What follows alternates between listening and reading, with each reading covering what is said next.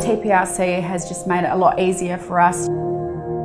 Everything being organised and running super smoothly. The whole team at TPRC has been fantastic to deal with. The fact that we can interview and view multiple candidates over a couple of day period, I think we're moving forward quite nicely.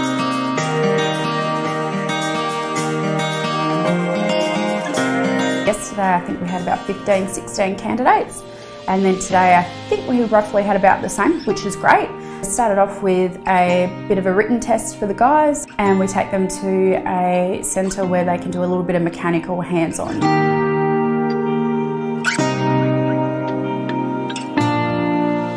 candidates have good skills and certainly looking to set themselves and their family up with a better life and opportunities.